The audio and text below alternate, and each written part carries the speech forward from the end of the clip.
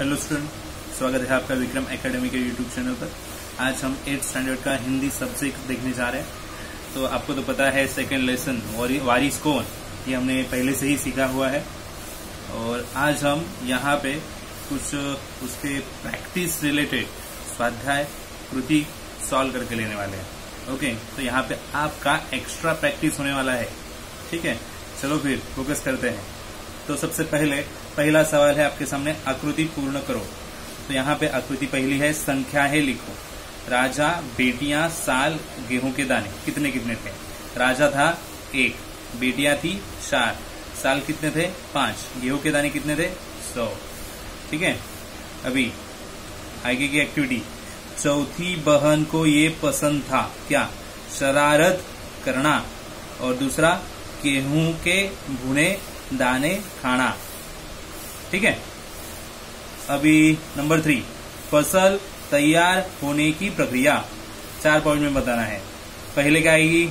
दाने बोना। दूसरा, अंकुर फूटना।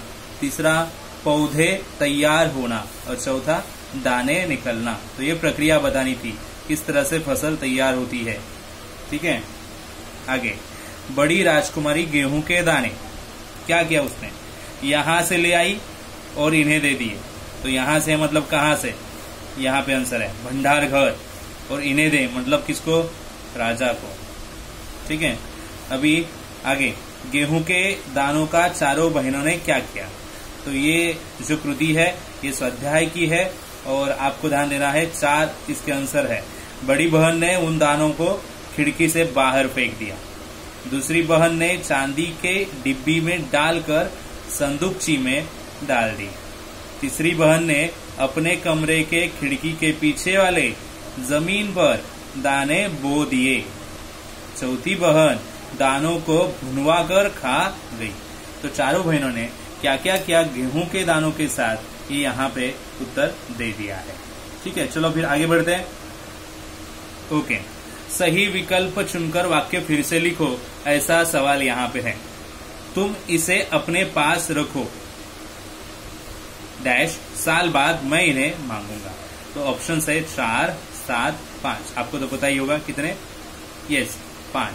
तो पाँच लिखकर मतलब सेंटेंस पूरा लिखने के बाद यहाँ पे पाँच आंसर आएगा अंडरलाइन करोगे। ये आपका लिखने का तरीका होगा। मैं यहाँ पे ओनली आपको आंसर बता रहा हूँ, आपको लिखना है। ठीक है? डैश के दाने लेकर चारों बहनों, बहने अपने अपने कमरे में लौट आई। चावल, बाजरा, गेहूँ। तो आंसर, गेहूँ के दाने थे।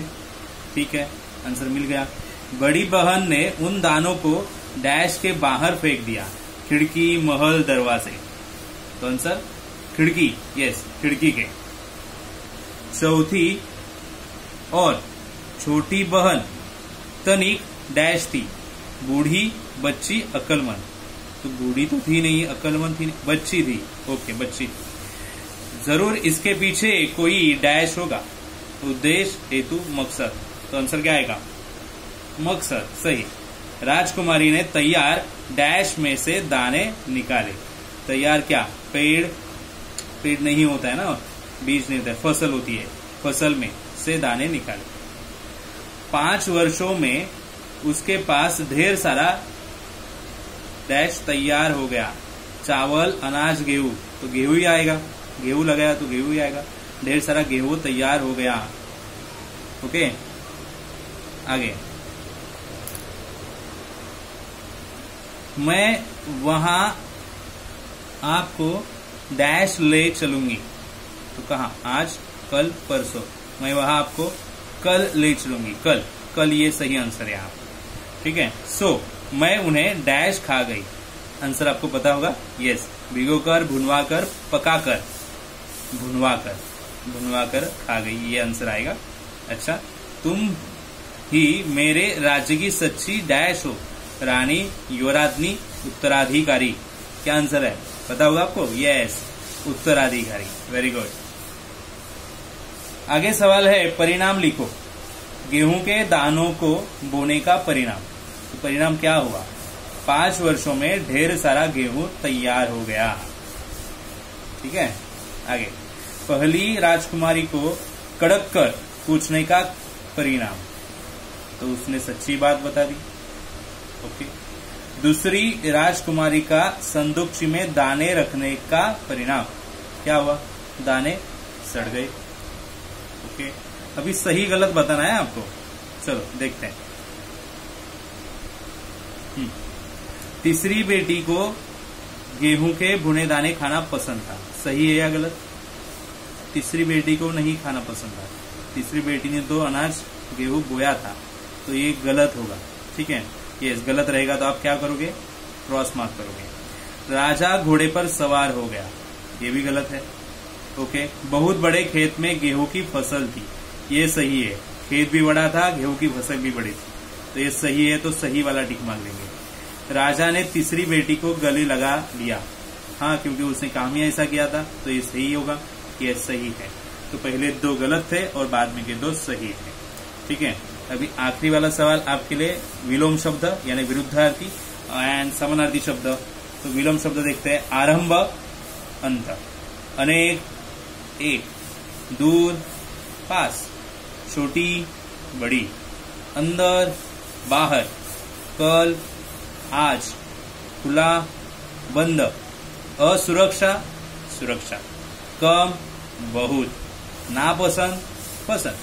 अभी समानार्थी देखना। है जनक, पिता। हेतु, मकसद। कक्ष, कमरा। धरती, ज़मीन। वक्त, समय। साल, वर्ष। नृप, राजा। जवाब, उत्तर।